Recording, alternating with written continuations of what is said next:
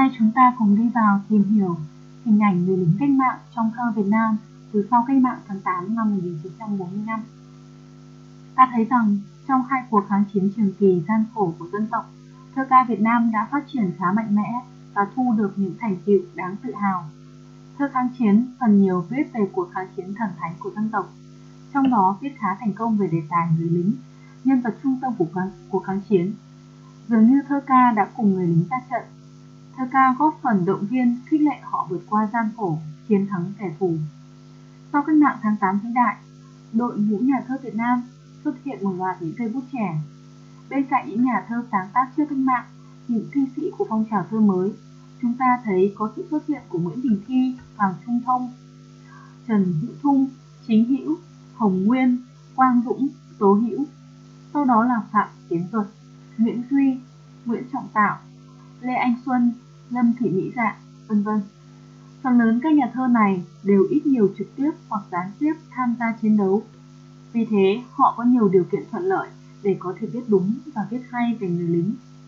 Bởi viết về người lính là viết về chính mình, về đồng đội của mình. Điều ngỡ như đơn giản ấy lại có một ý nghĩa quan trọng trong đời sống chiến đấu. Nó vừa hình tượng người lính mang những nét xác thực trong đời sống chiến đấu, vừa tái hiện trong cảm hứng nghệ thuật đầy chất sử thi và lãng mạn. Những tác phẩm xuất sắc về người lính cũng là những tác phẩm được tạo nên trên cơ sở kết hợp nhuần nhuyễn giữa hai thứ chất liệu nghệ thuật này. Đầu tiên chúng ta sẽ tìm hiểu về hình ảnh người lính trong cuộc kháng chiến chống Pháp. Ta thấy ở đây vẻ đẹp của người lính thường gắn bó với vẻ đẹp bình dị. Họ nhanh chóng trở thành linh hồn của cuộc kháng chiến, trở thành niềm tin yêu và hy vọng của cả dân tộc. Tố Hữu đã nói hộ tình cảm của nhân dân đối với anh vệ quốc quân. Giọt giọt mồ hôi rơi, trên má anh vàng mẹ, anh vệ quốc quân ơi, sao mà yêu anh thế? Anh bộ đội cụ Hồ vốn là những nông dân mặc áo lính mang trong mình lý tưởng cao đẹp. Vì sự sống còn của Tổ quốc, họ tạm biệt bến nước Sơn Đình, bãi mía nương dâu để ra đi chiến đấu. Ta hãy nghe lời tâm sự của họ khi nói về quê hương. Quê hương anh nước mặn đồng chua, làng tôi nghèo, đất cày lên sỏi đá. Họ ra đi để lại nơi quê nhà người mẹ già, người vợ trẻ một nắng hai xương.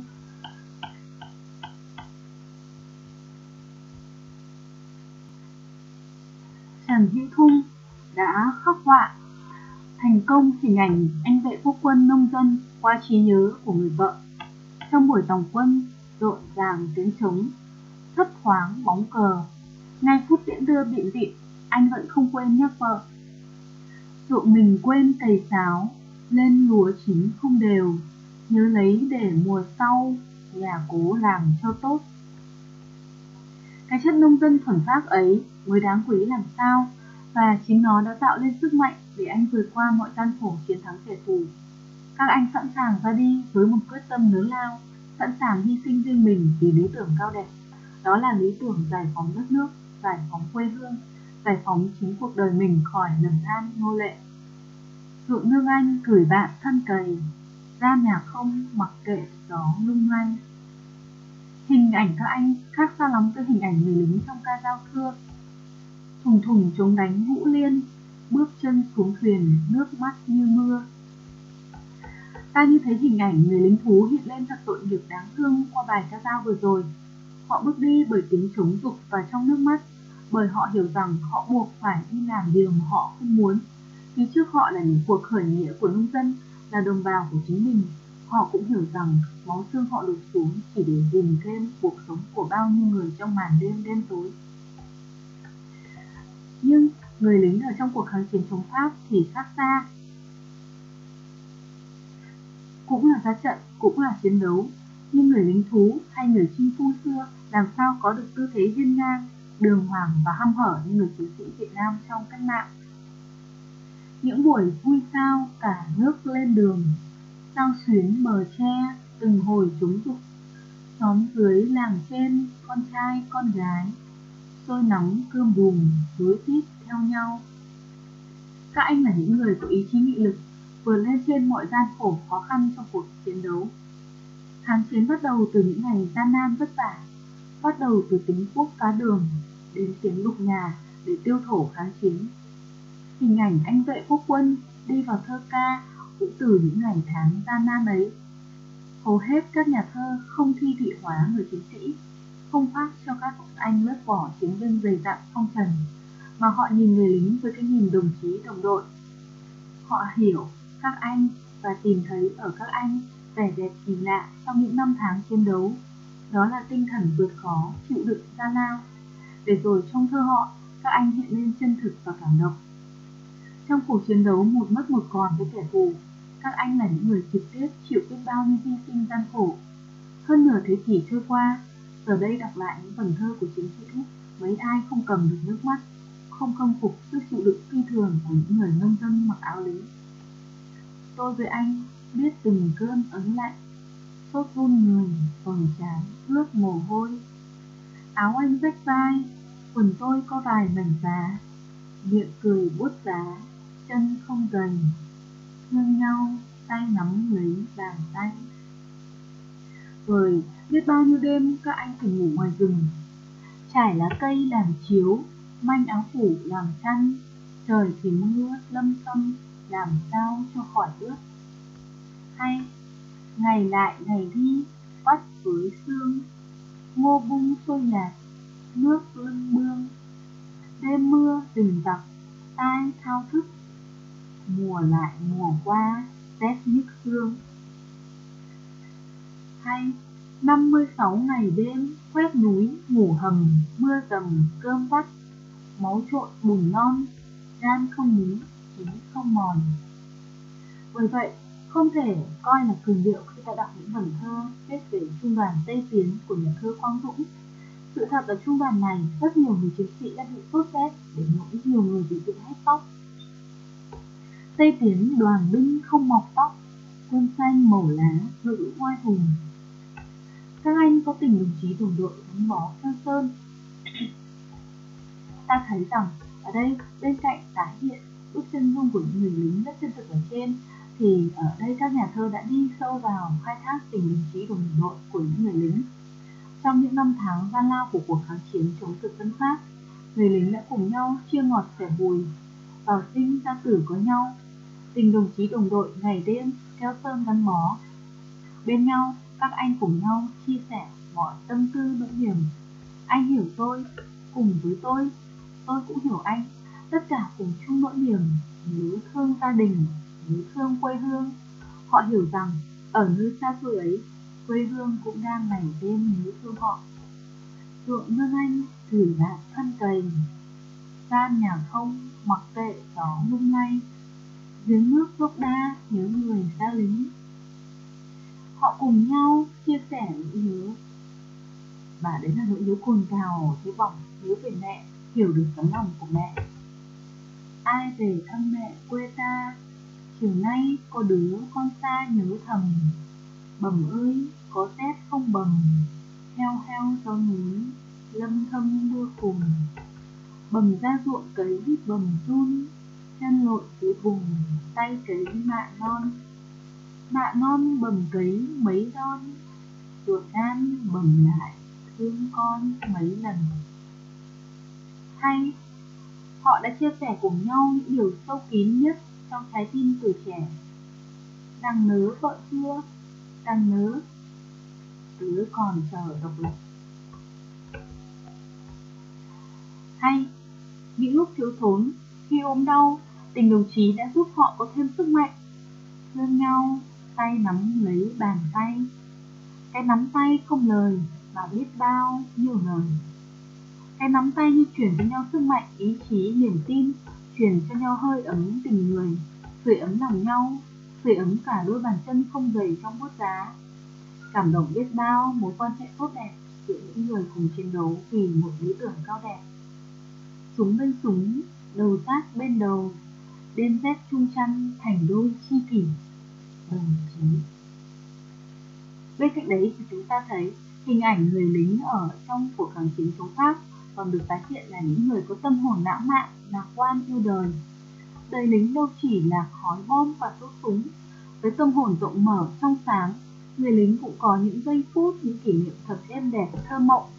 Trong cảnh núi rừng mênh mông yên tĩnh, trong màn sương muối lạnh lẽo phủ đầy, trong tư thế sẵn sàng bước vào cuộc chiến đấu, người lính vẫn thả hồn mình tìm đến với vẻ đẹp của vầng trăng, vẫn cảm nhận được vẻ đẹp của vầng trăng, thấy vầng trăng như treo nơi đầu súng. Đêm nay rừng hoang sương muối, đứng cạnh bên nhau chờ giặc tới, đầu súng trăng treo. Những giây phút nghỉ ngơi giữa hai trận đánh, các anh thật hồn nhiên trẻ trung. Cả lũ cười vang bên ruộng bắc, nhìn o thôn nữ dưới nương dâu. Tóm lại, chúng ta thấy thơ ca kháng chiến chống Pháp đã xây dựng thành công hình ảnh người lính. Năm tháng đã và sẽ trôi qua, nhưng những bài thơ viết về người lính trong giai đoạn lịch sử oanh liệt này vẫn sẽ còn mãi trong nền văn học dân tộc, trong lòng người dân Việt Nam. Hình ảnh anh bộ đội Cụ Hồ trong cuộc kháng chiến chống Pháp mãi mãi là niềm tự hào của mỗi người dân Việt Nam. Tiếp theo chúng ta cùng tìm hiểu hình ảnh người lính ở trong cuộc kháng chiến chống Mỹ. Cuộc kháng chiến chống thực dân Pháp thắng lợi, miền Bắc được hoàn toàn giải phóng, đi lên xây dựng chủ nghĩa xã hội. Nhưng cả dân tộc ta vẫn phải tiếp tục cuộc chiến đấu mới, cuộc chiến đấu giải phóng miền Nam, thống nhất đất nước. Trong thời kỳ này, thơ ca Việt Nam đã có những bước phát triển mới, lớn mạnh và phong phú hơn giai đoạn trước. Bên cạnh hai cây bút vĩnh xứ nổi bật thời kỳ này là Tố Hữu và Chế Lan Viên, một thế hệ thi sĩ tài năng xuất hiện. Họ đông đảo cả về đội ngũ và đa dạng về phong cách, giọng điệu. Phần lớn trong số họ là những người trực tiếp tham gia đánh giặc và làm thơ.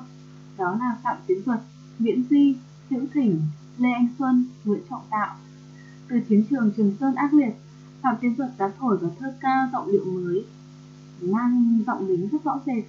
Đó là chất giọng trẻ trung, nghịch ngợm, trong đó nổi bật lên tác phẩm bài thơ về tiểu đội xe không kính có lẽ bài thơ này đã thể hiện đặc trưng nổi bật nhất của thơ ca thời kỳ này đó là thể hiện sinh động hình ảnh thế hệ trẻ trẻ dọc trường sơn đi cứu nước. Với ý thức ngày càng sâu sắc về trách nhiệm của thế hệ nước dân tộc và nhân dân trước tổ quốc và lịch sử. Hình ảnh người lính trong cuộc kháng chiến chống mỹ cứu nước hiện ra với những phẩm chất cao đẹp. Các anh vẫn mang trong mình những phẩm chất truyền thống của anh bộ đội cụ Hồ trong kháng chiến chống thực dân Pháp. Đó là lòng yêu nước thiết tha cháy bỏng và ý chí nghị lực phi thường vượt qua mọi gian khổ hy sinh, là tình đồng chí đồng đội gắn bó keo sơn, là tâm hồn lạc quan yêu đời. Nhưng các anh cũng mang trong mình những vẻ đẹp mới của thời đại mới Hồ Chí Minh. Vẻ đẹp nổi bật của hình ảnh người lính trong kháng chiến chống Mỹ chính là sự trẻ trung, ngang tàn, nghịch ngợm và hóm hình. Vẻ đẹp của họ không chỉ tượng trưng cho vẻ đẹp của dân tộc mà còn được nâng lên tầm khái quát cao hơn nhiều tầm nhân loại. Đầu tiên, chúng ta tìm hiểu vẻ đẹp truyền thống của anh bộ đội Cụ Hồ. Ta thấy ở đây, những người lính vẫn mang trong mình vẻ đẹp truyền thống được kế tục từ thời kháng chiến chống Pháp. Các anh là những người lính ra đi từ miền Bắc xã hội chủ nghĩa, không phải từ những thân phận nô lệ, cũng không chỉ là những người nông dân nơi nước mặn đồng chua hay vùng quê đất cày lên sỏi đá nữa. Các anh đã ừ, giải phóng cuộc đời mình thoát khỏi nô lệ lầm than và các anh vốn là những công nhân, nông dân, trí thức trong đó phần lớn vừa rời ghế nhà trường để bước vào cuộc chiến đấu với khát vọng giải phóng miền Nam, thống nhất đất nước. Vẫn là lý tưởng độc lập tự do, nhưng với thời đại các anh, lý tưởng cao đẹp đó đã được phát triển trở thành chủ nghĩa yêu nước mang tính chất xã hội chủ nghĩa. Lý tưởng cách mạng của các anh gắn với nhận thức về sứ mệnh trọng đại của dân tộc trong cuộc đấu tranh của loài người cùng với sự đi lên của dân tộc của nhân loại. Bởi vậy, các anh ta trận với tâm hồn phơi phới tuổi xuân. Xe vẫn chạy thì miền Nam phía trước, chỉ cần trong xe có một trái tim. Và các anh ra đi với khí thế, sẻ dọc trường sơn đi cứu nước mà lòng phơi phới dậy tương lai. Với lý tưởng, cuộc đời đẹp nhất là trên trận tuyến đánh quân thù, các anh đã hy sinh cho dân tộc với hạnh phúc thiêng liêng cao cả. Nếu được làm hạt giống của mùa sau, nếu lịch sử chọn ta làm điểm tựa, vui gì hơn bằng người lính đi đầu, trong đêm tối tim ta thành ngọn lửa. Bởi thế ta thấy các anh bước vào cuộc chiến đấu bằng tất cả sự chủ động, tự tin vững vàng nhất. Gian khổ khó khăn nhất đối với người lính trong cuộc chiến đấu chống Mỹ là sự khốc liệt của chiến tranh. Người lính hành quân vào Nam đánh giặc dưới mưa bom bạo đạn của kẻ thù. Những chiếc xe bị méo mó, biến dạng. Không có kính, không phải vì xe không có kính. Bom giật, bom tung, kính vỡ, đi rồi. Không có kính, nghĩa là không có bộ phận che chắn bảo vệ các anh. Không chỉ có nắng rác mưa rông, không chỉ có bụi đường làm bạc trắng những mái đầu, mà còn là những mảnh bom đạn của kẻ thù bất cứ lúc nào cũng quăng ném vào trong xe. Nhưng các anh vẫn ung dung buồn lái đang ngồi, nhìn đất, nhìn trời, nhìn thẳng. Ngay cả cái chết cũng không thể làm các anh gục ngã. Anh ngã xuống trên đường băng tân sơn nhất, nhưng anh gượng đứng lên, tì súng lên xác trực thăng. Và anh chết trong khi đang đứng bắn, máu anh phun theo lửa đạn cầu vòng. Trong gian khổ hy sinh, tình đồng chí đồng đội đã làm nên sức mạnh chiến thắng kẻ thù bị chiếc xe từ trong bom rơi đã về đây họp thành tiểu đội, cặp bè bạn suốt dọc đường đi tới, bắt tay nhau qua cửa kính vỡ rồi. Cái bắt tay ấm nồng tình cảm yêu thương chia sẻ, cái bắt tay ấy là tình đồng đội thiêng liêng. Họ truyền cho nhau niềm tin chiến thắng, tình yêu và lòng dũng cảm, truyền cho nhau sức mạnh đoàn kết ở nơi và sự sống và cái chết thật cận kề. Bàn tay đã thay cho mọi lời nói. Các anh hiểu rằng thắng chính là gian khổ, là trường kỳ. Vậy nên, hàng ngàn con đường ra trận đã trở thành ngôi nhà chung. Những đồng đội đã trở thành gia đình ruột thịt. Bếp hoàng cầm ta dựng giữa trời, chung bát đũa, nghĩa là gia đình đấy. Nét nổi bật của vẻ đẹp người lính trong kháng chiến chống Mỹ là sự trẻ trung, ngang tàn, hợp lợ và hóm hỉnh. Thật đáng yêu trước hình ảnh những chàng lính trẻ măng tơ, nghêu ngao, gõ bát, hát chờ cơm sôi. Hay hình ảnh khoái nào bằng phút nghỉ lưng, dở trang thư dưới bóng rừng đung đưa. Gian khổ hiểm nguy dường như đã trở thành niềm vui, sự thích thú với cả những người lính. Không có kính, ừ thì có bụi, bụi phun tóc trắng như người già. Chưa cần rửa, thì kèo chăm điếu thuốc, nhìn nhau mặt lấm cười ha ha. Biết tạo ra niềm vui từ chính gian khổ hy sinh, các anh nói về gian khổ hy sinh như nói về những niềm vui, niềm hạnh phúc. Bởi vậy, thương tích trên mình với các anh có đáng kể gì đâu. Cái vết thương xoàng mà đưa viện, hàng còn chờ đó tiếng xe reo, nằm ngửa nhớ trăng, nằm nghiêng nhớ bến, nôn nao ngồi dậy ngửa lưng đèo. Chính vì thế mà tầm vóc người chiến sĩ đã cao lớn lên cùng với tầm vóc của dân tộc của thời đại trong cuộc chiến tranh vệ quốc vĩ đại nhất. Cả năm châu, chân lý đang nhìn theo, bóng anh đi và vành mũ tai bèo của anh đó. Hay, anh chẳng để lại gì cho riêng anh trước lúc lên đường, chỉ để lại dáng đứng Việt Nam tạc vào thế kỷ. Từ dáng đứng của anh trên đường băng tân sơn nhất tổ quốc bay lên bát ngát mùa xuân. Hình tượng người chiến sĩ trong thơ chúng Mỹ có những nét riêng tư của con người, của nhân vật trữ tình đậm đà tính sáng tạo. Ta hãy nghe người lính tâm sự. Đường ra trận mùa này đẹp lắm, trường Sơn Đông nhớ trường Sơn Tây. Không một tấm hình, không một dòng địa chỉ, máu thịt các anh đã hòa vào từ xa, làm tốt bãi bồi, xanh nước nương dâu, để đất nước bay lên bát ngát mùa xuân. Tóm lại, chúng ta thấy cùng với thử thách của thời gian, có thể khẳng định rằng các nhà thơ cùng với những phần thơ viết về đề tài người lính của họ ngày càng khẳng định được vị trí vững vàng trong lịch sử thơ ca Việt Nam. Nó vẫn tồn tại như một vầng sáng, như một tầm cao trong thơ Việt Nam hiện đại. Nhiều bài thơ hay vẫn sống trong lòng người yêu thơ và thế hệ trẻ. Thơ về đề tài người lính là một phần không thể phủ định trong các giá trị tinh thần của một thời đại lịch sử đã và đang được lưu giữ trân trọng bởi những thế hệ hôm nay và cả hôm qua.